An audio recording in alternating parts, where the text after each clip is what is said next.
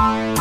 साथियों बहुत बहुत स्वागत है आपका अपनी चैनल अनास ऑनलाइन हब में। इस वीडियो में दोस्तों बात करेंगे सातवें चरण बहाली को लेकर और जैसा कि आप लोग को पता है कि कल बहुत ज़्यादा बड़े बड़े न्यूज़ चैनल पर भी जो है न्यूज़ दिखाया जा रहा था कि आ, अगले 24 घंटे में जो है आपकी विज्ञापन जो है जारी कर दिया जाएगा। लेकिन यहाँ पर बीपीएससी के द्वारा एक बार फिर से विमर्श करेगा यानी शिक्षा विभाग के साथ कि उम्र सीमा में कितना छूट दिया जाएगा शैक्षणिक क्या रहेगा? ठीक है कट ऑफ़ डेट क्या रखा जाएगा? ठीक है पैटर्न सारी चीज़ का जो है यहाँ पर शिक्षा विभाग से एक बार जो है विमर्श करेगी, उसके बाद ही जो है जारी किया जाएगा। यहाँ पर जो बीपीएससी के अध्यक्ष अतुल प्रसाद, उनके द्वारा भी यहाँ पर स्टेटमेंट यहाँ पर दिया गया है। ठीक है, और एक संभावित तिथि बताया गया है, अगर इस सप्ताह के अंत मतलब इस महीने के अंत तक आपकी वैकेंसी जो है जारी कर दी जाएगी। तो यहाँ पर बताया गया है कब से आवेदन, कितना मतलब टाइम दिया जाएगा, आवेदन जो लिया जाएगा, वो टाइम कितना दिया जाएगा परीक्षा कब होगा रिज़ल्ट कब होगा और नियुक्ति पत्र आपको कब से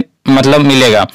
साथ में इसमें बताया गया है कि नेगेटिव बीपीएससी की नेगेटिव मार्किंग के पक्ष में नहीं था शिक्षा विभाग। यानी बीपीएससी के द्वारा जो नेगेटिव मार्किंग रखा गया है वो शिक्षा विभाग इसके पक्ष में नहीं था। अर्थात कहने का मतलब ये है कि शिक्षा विभाग चाहता है कि इसमें नेगेटिव मार्किंग ना हो ठीक है? इसी के बारे में यहाँ पर लिखा गया हो सकता है आपकी नेगेटिव मार्किंग हट भी सकता है। ये पूरा कंफर्म नहीं है लेकिन इस पर जो है विमर्श भी जो है अ, जो है एक सप्ताह का जो है लिया गया है टाइम ठीक है? या, यानी जो कल आने की सूचना थी अब जो है अग, अगले एक सप्ताह में आपको क, कभी भी जो है आपका जो है वैकेंसी जो विज्ञापन जो है आ सकता है ठीक है? तो इस पूरे अपडेट को देख लेते हैं। शिक्षक भर्ती जून में आवेदन लेने के बाद ठीक है आपको जो है मई के लास्ट वीक में आ जाएगा। जून पूरा जून जो है आपको एक महीना का समय मिलेगा। पंद्रह से तीस अगस्त के बीच आपका परीक्षा ले लिया जाएगा। ठीक है यानी जून पूरा आवेदन जो है भरने में जून जुलाई अगस्त तीन महीना का आपको अ, मोटा मोटी जो है आपको समय मिलेगा। नवंबर में आपका रिज़ल्ट और दिसंबर के दिसंबर में दिया जाएगा नियुक्ति पत्र। यानी इस साल तक या बोलते बोल सकते हैं कि नया साल तक आपको जो है नियुक्ति पत्र जो है देने का टारगेट यहाँ पर बनाया गया है, ठीक है? अगला देख लीजिए यहाँ पर। वन पॉइंट सेवेंटी लाख शिक्षक नियुक्ति की वैकेंसी अगले सप्ताह, क्योंकि शैक्षणिक योग्यता, उम्र व पैटर्न पर शिक्षा विभाग से एक बार और विमर्श करेगी बीपीएससी ठीक है? यानी इसके बारे में कट ऑफ़ शैक्षणिक योग्यता, ठीक है? उम्र सीमा में कितना छूट, ठीक है? इसके बारे में जो है शिक्षा विभाग से एक बार फिर से जो है विमर्श करेगी बीपीएससी ठीक है? तो इस पूरे अपडेट को देख लेते हैं एक नज़र में। कक्षा एक से बारह तक एक लाख सत्तर हज़ार शिक्षकों की भर्ती के लिए अगले सप्ताह ही वैकेंसी जारी हो सकेगी। ऐसा इसलिए कि बीपीएससी शिक्षक भर्ती के लिए अभ्यर्थियों के शैक्षणिक योग्यता, उम्र सीमा और परीक्षा पैटर्न पर शिक्षा विभाग से एक और विमर्श करेगी। इसके बाद वैकेंसी का प्रारूप बीपीएससी फिर शिक्षा विभाग को भेजेगा। इसके बाद विज्ञाप- विज्ञप्ति जारी होगी। कक्षा एक से पाँच शिक्षकों का प्रश्न इंटरमीडिएट कक्षा नौ से दस के स्नातक और ग्यारह से बारह का प्रश्न जो है स्नातोत्तर का होगा। तो ये पैटर्न है दोस्तों, कक्षा एक से पाँच के लिए जो है आपका इंटरमीडिएट का रहेगा। नौवीं, दसवीं के जो स्नातक लेवल का रहेगा और ग्यारह ग्यारह बारहवीं का जो रहेगा, वो स्नातोत्तर इन- का स्तर का होगा। आगे यहाँ पर देख लीजिए, लिखा हुआ है। तो ये है दोस्तों, इसका पैटर्न है। एक से पाँच के लिए किस स्तर पर आपका प्रश्न पूछा जाएगा? नौवीं और दसवीं के लिए किस स्तर पर प्रश्न पूछा जाएगा? और ग्यारहवीं और बारहवीं के लिए, ठीक है? आगे लिखा है कि प्राथमिक कक्षा, शिक्षक पद पर आवेदन के लिए अभ्यर्थियों को टीटी या सीटेट पास होना अनिवार्य होगा। ठीक है, आगे आगे जो भी आप किए हैं, बीएड किए हैं डीएलएड किए हैं अनाज के माध्यम से डीएड किए हैं तो आपको जो है टीटी पास होना ज़रूरी है। आगे देख लीजिए। उच्च और जबकि उच्च और उच्च माध्यमिक कक्षा शिक्षक के लिए एसटीटी उत्तीर्ण होना ज़रूरी होगा।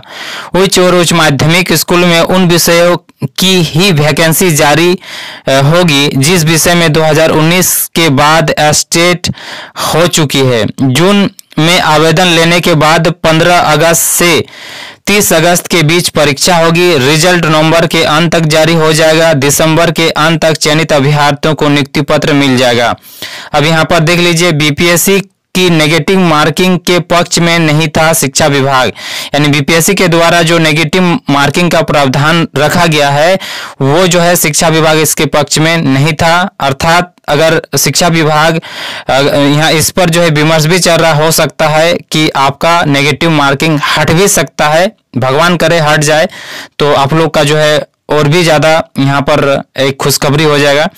देख लीजिए बीपीएससी की संयुक्त प्रारंभिक परीक्षा में जिस तरह नेगेटिव मार्किंग का पैटर्न है, शिक्षक नियुक्ति परीक्षा के लिए वैसा ही पैटर्न तय किया गया है। शिक्षा विभाग नेगेटिव मार्किंग के पक्ष में नहीं था। अभी बीपीएससी दो घंटों में डेढ़ सौ वस्तुनिष्ठ प्रश्न रखने के पक्ष में है, जबकि शिक्षा विभाग दो घंटों में 100 प्रश्न ही रखने के पक्ष में था। शिक्षा विभाग क्वालिफाई पेपर के पक्ष में नहीं था। वैसे वैसे परीक्षा पैटर्न तय करने का अंतिम अधिकार बीपीएससी को ही है, ठीक है? आप देख लीजिए यहाँ पर।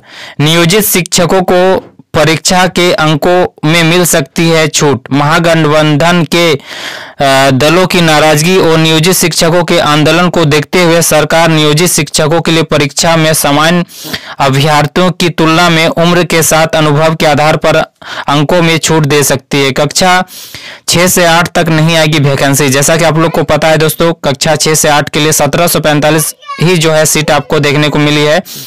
यहाँ पर देख लीजिए, कक्षा एक से पाँच नौ से दस और ग्यारह, बारह वैकेंसी आएगी। कक्षा छह से आठ वैकेंसी नहीं आएगी। कक्षा छह से आठ शिक्षा विभाग ने सत्रह सौ पैंतालीस पद रखा था। जिलों से इन कक्षाओं के लिए पैंतीस हज़ार रिक्ति भेजी थी। कक्षा सिक्स टू एट वैकेंसी इसलिए नहीं आएगी क्योंकि 2017 के बाद एक से पाँच तक की कई शिक्षक, स्नातक और सिक्स टू एट के शिक्षक की योग्यता रखने वाले भी प्रोन्नति नहीं पा सके हैं। इन पदों को प्रोन्नति से भरा जाएगा। यानी सिक्स टू एट में जो है प्रोन्नति से भरा जाएगा, जो पहले शिक्षक है, उसको प्रमोशन से भरा जाएगा।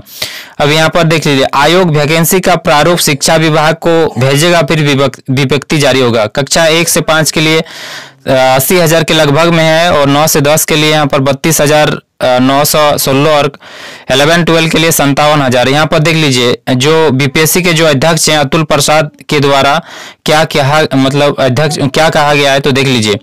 1.70 लाख शिक्षकों की भर्ती के लिए वैकेंसी निकलने की प्रक्रिया चल रही है। उम्र उम्र में छूट, योग्यता आदि के मामले में शिक्षा विभाग से एक और विमर्श होना है, इसके बाद तुरंत वैकेंसी जारी कर दी जाएगी। अतुल प्रसाद बीपीएससी अध्यक्ष का ये कहना है।